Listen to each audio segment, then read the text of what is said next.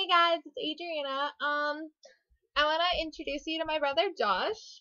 One minute. um, he wants to tell some jokes for you. So if any are racist, just I'm sorry, but he's he's a bad kid.